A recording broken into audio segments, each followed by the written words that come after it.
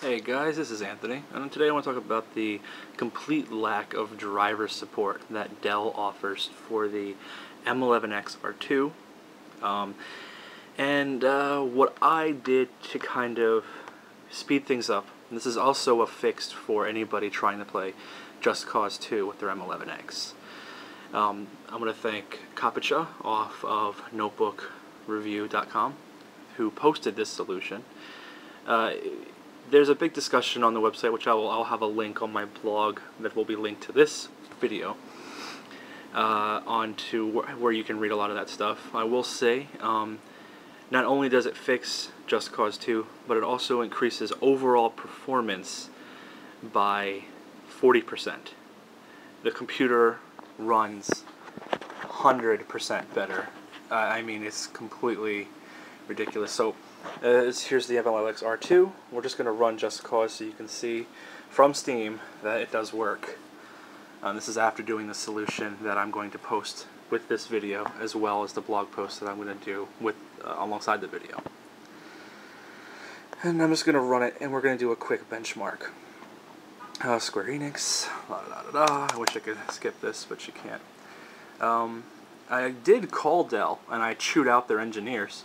It turns out Dell didn't hasn't upgraded their drivers for uh, at least uh, almost seven months since last May, and they're not keeping up with NVIDIA's driver updates. I mean, the way it's supposed to work, NVIDIA is supposed to do a driver release, and then since Dell won't allow us Alienware people install stuff straight from NVIDIA, we have to use the Dell website.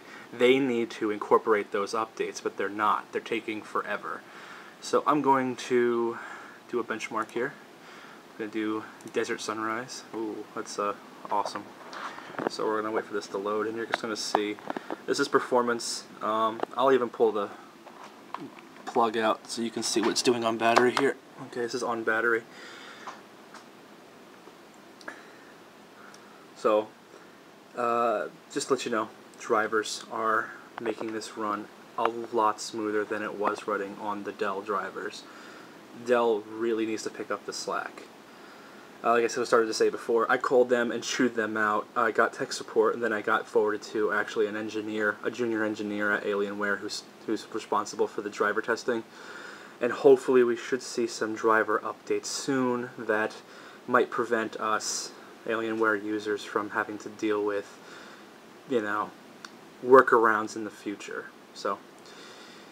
Uh, I think that's pretty much all I wanted to say. Along with this video, again, I'm going to be posting the um, the step-by-step -step guide provided by notebookreview.com. Uh, and it involves you uninstalling the NVIDIA drivers you currently have installed, restarting in safe mode, running a driver cleaner, which is going to clean your computer, doing another reboot, and then installing the uh, NVIDIA off the NVIDIA manufacturer site drivers. During that installation, it's going to fail. It's going to say that your computer is not compatible. You're going to hit OK, and then you're going to copy a modified INF file into the installation folder that is created, um, and then you're going to run the install again.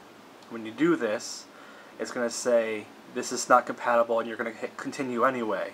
Once you do that, it's going to restart again, and you're going to have the updated drivers, and this is going to work. Uh, I'm going to show you one more thing before I end this video. So let me close out of here. Alright. This one lets, lets you see my driver details. I'm going to go to properties. And I'm not sure if you can see how blurry this motherfucker is, but that is a 7 slash 9 2010. I know it probably looks blurry to you.